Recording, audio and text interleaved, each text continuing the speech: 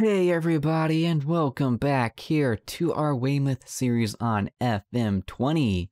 Today we are kicking off our 10th season of this series and we are taking on Watford today to kick off the season and it is our third season here in the Premier League as well and hopefully it is going to be our best season of the series yet.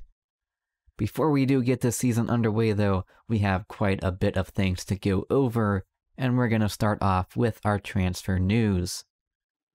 As always, we're going to start off with players that have joined the club. We already went over Clabinho and Vadim Torn last season. They have now officially joined our team. So our first new player is a free transfer. This is a center back Callum Eaton, who joins us from Manchester United. He is 24 years old and he looks to be a really solid center back. His physical and mental attributes are really, really good, and his technical attributes for a center back are really nice as well. And he is able to play the ball out from the back with 14 passing, exactly the type of center back I would like to have at my club. He is already our best center back at the club, and I'm really excited to see what he can do for us. He never made any appearances for Manchester United, but he got sent out on loan a couple of times and has made 89 appearances. Last season, he was out on loan in the Bundesliga, where he made 26 appearances. So I'm very excited to have Callum joining our team. Next up, we have Bruno Mendes joining us from Porto for 19.5 million. Bruno is a right-sided inside forward, and I'm very excited about how good our right side should be this season. His physical attributes are absolutely insane. 16 acceleration, 19 agility, 16 balance, and 16 pace. Him and Xavier Amici are going to be battling it out this season to get that starting role, but I am confident in either one of them. But at the moment, Xavier will just have the slight edge over Bruno. But we're going to be seeing a lot of Bruno this season, I am sure of it. At 24 years old, he can still improve a little bit, and he's going to be hitting his peak here in the next couple of years. At Porto, he made 79 appearances for the first team and getting 15 goals so already having a decent amount of experience. And as you'll see, we have a bit of a Portuguese revolution on our team this season. Hopefully, they can lead us to some glory. Uh, next up isn't a really exciting signing, but it is an important one. It is a backup goalkeeper, Samuel Brolin. He is a 27 year old Swedish goalkeeper. Last season was spent out on loan with Doncaster from Stoke. We still have Pontus Dahlberg, but he has a long term injury, so we needed to get someone in, and Samuel Brolin is a solid backup for the team. We have him on a low wage, so it made sense for us to get him in. So he joins us on a two year deal. And we have three more signings to go over, and they are all Portuguese, starting off with David Couto joining us from Malaga for 5.5 million. He is a 24-year-old left back that will be giving us good coverage in that left back position. Christian Marsaler will be our starter, but I'm confident when we need David, he will be able to step in and do a job for us. He made 68 appearances for uh, Malaga and already has 139 league appearances for various teams. So again, joining us with experience, which is definitely something I was looking for this off season. Next up is probably my favorite signing this season. It is Marcio Couto joining us from Porto for 30 million. He is going to be our new starting defensive midfielder. He is 21 years old and has a lot of potential, and he absolutely bossed it for us in the preseason average rating of 8.4, passing completion of 93, and getting 5 assists from that deep flying role. Super excited to have Marcio joining our team. Uh, last season, he did spend time out on loan with Italian side Pordenone, Uh, sure, we're gonna go with that pronunciation. He never made a senior appearance for Porto, but he did get quite a few appearances for their B team. So again, another player that already has experience. Uh, he is one of our young. He is our youngest signing. That's going to be in our first team. And our last Portuguese player to go over is Nelson Semedo. He is now 34 years old, but still has the quality to be our starting right back this season. I mean, you can look at the attributes right now, and you can tell that he is still a very solid player, and someone that is going to help our younger players develop into professional players.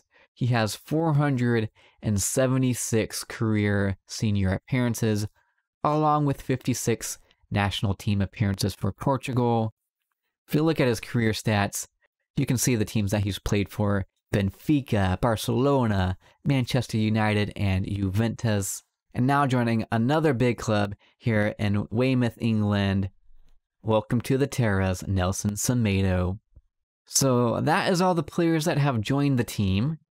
Now, we haven't really had too many players that leave the club, at least on permanent transfers. We do have a lot of players out on loan, as you can tell. But we did sell two players, one of them being Ricardo Rodriguez.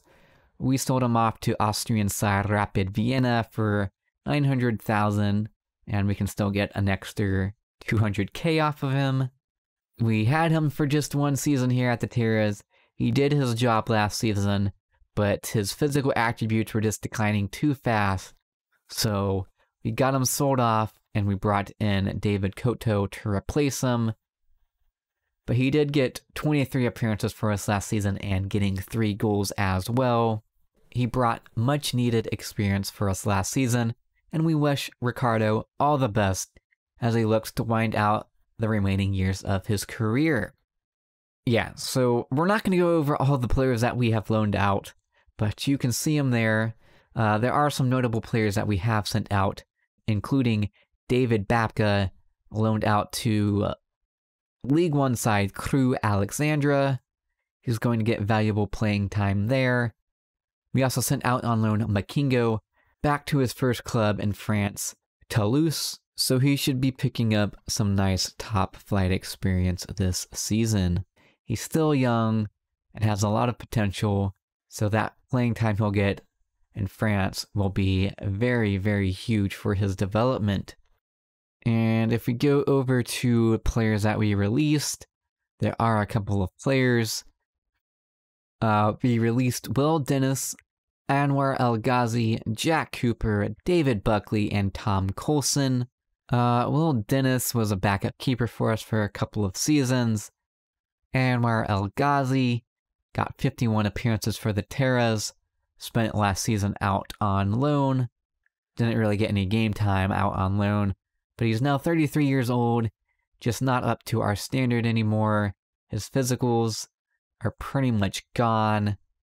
My guess is he'll probably go back to the Netherlands, or uh, it looks like Bolton are interested in him.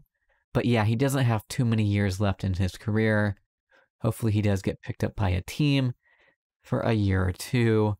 Jack Cooper, he was one of our own players. He made 39 appearances for the Terras with his career. Uh, other one, nothing really to note on them.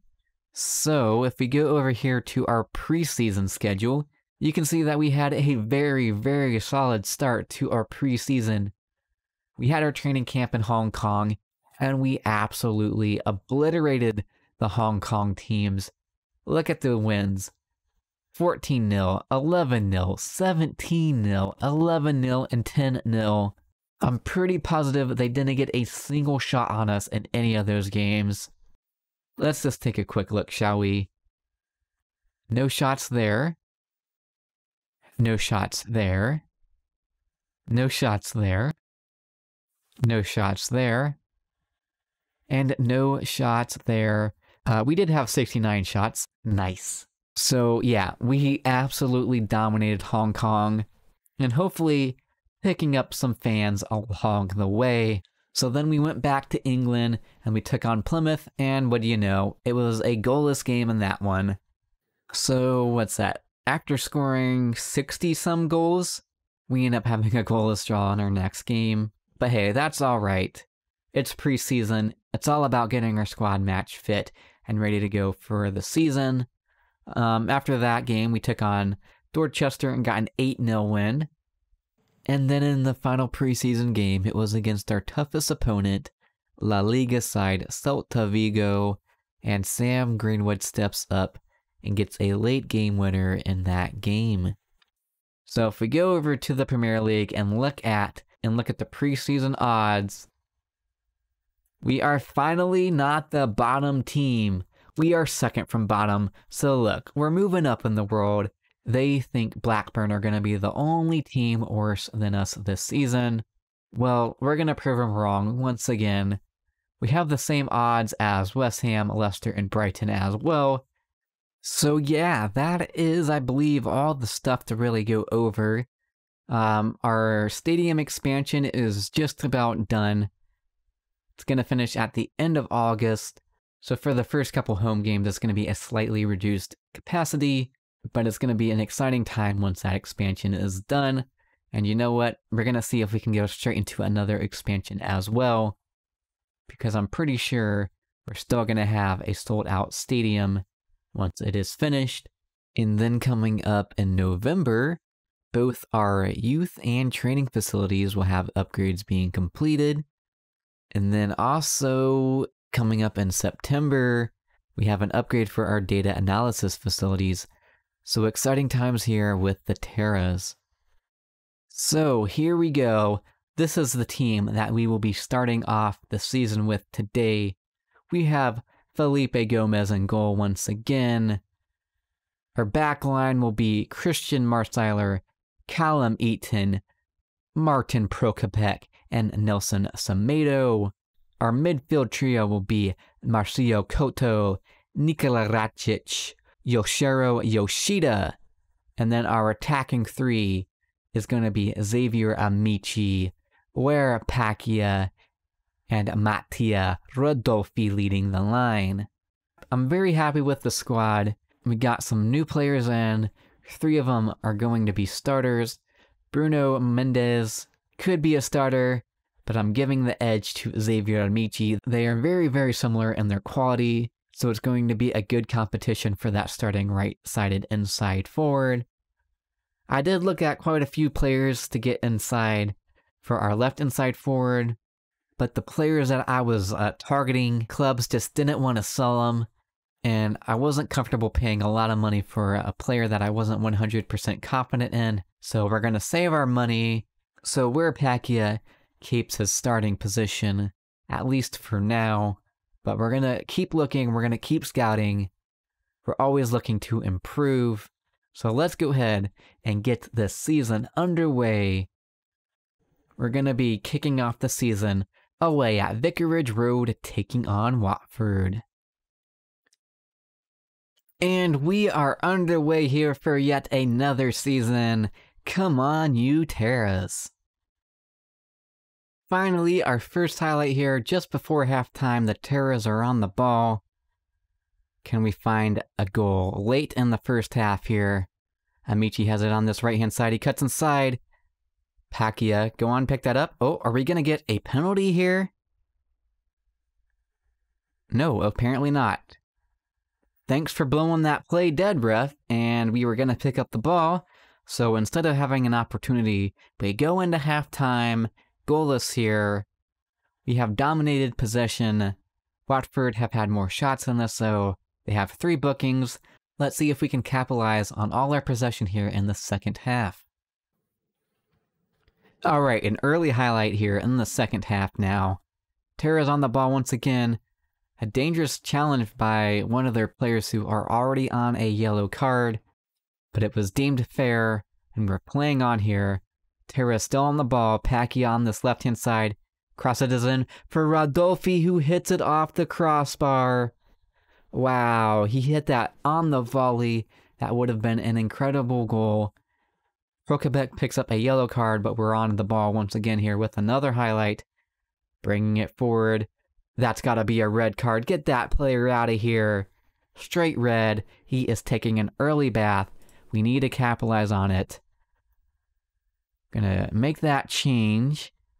Um, Hakia and Rodolfi both on a 6.4. We'll make a change if they don't improve, but we need to capitalize on our man advantage now. And we have a corner. Couto whips it in. Is that a penalty? That has to be a penalty. And it is. Rodolfi is going to step up to take the penalty for the Terras. And he buries that. It's 1 0 to the Terras. Mattia Rodolfi getting our first goal of the season. Let's go. All right, we're going to make our first substitution. We're going to bring on Bruno Mendes for his debut. And we'll also bring on Rufo for Semedo. And we'll hold on to our final substitution for now. All right, we're going to make our final substitution. We're going to bring on David Couto for his debut. Marsiler is looking nervous out there. So we're going to bring on David for his debut for the final 10 minutes of this game. Come on, David. And we have a highlight. Yoshida whips in a free kick. Oh, that's gone in. Martin Prokopek, let's go. Rises up above the defender and he heads in that Yoshiro Yoshida free kick. 2 0 to the Terras. We look like we're going to get off to a winning start here. Let's go. Oh, we have another highlight here. Can we get a third goal? That would be lovely. Go on, Mendes. He wins that header, kind of, but it falls to no one. We do pick up the ball, and we're looking to get an attack here. Yes, go on, Mendes. Oh, he heads it off the post. Oh, man, imagine coming on and getting a goal on his debut just a couple minutes after coming onto the pitch. And there is the full time whistle. We end up getting a 2 0 victory over Watford definitely made a bit easier when they got their players sent off in the 53rd minute. But Rodolfi and Prokopek getting two important goals for us. Let's go. And look at that. We are top of the table. Doesn't matter if not everyone has played. Weymouth are top of the Premier League. Go ahead and screenshot that. The Terras are top of the table. But in all seriousness, what a great start to the season. I'm pretty positive that is the first time we get off to a winning start here in the Premier League. And hopefully, that'll give our team a nice confidence boost for the upcoming games and see if we can get off to a really, really good start. As I already mentioned, I'm kind of optimistic about this season. I think we have a chance of finishing our best ever finish in the Premier League, and hopefully, we can challenge for a European place. I'm not quite sure we're good enough to actually get a place in Europe yet, but if we can put some pressure on some of those teams, I would be extremely proud of the team. But that is where we're going to end off this episode today. If you have enjoyed it, go ahead and leave the video a like down below. And go ahead and comment where you think we're going to finish this season in the Premier League. Think we're going to be in a relegation battle? Think we're just a mid table team? You think we're good enough for a European place? Maybe we'll pull a Leicester and win the Premier League. Go ahead and let me know in the comments down below. If you are new around here, go ahead and hit that subscribe button and turn on that notification bell as well. And until next time, it's been your Boyd147.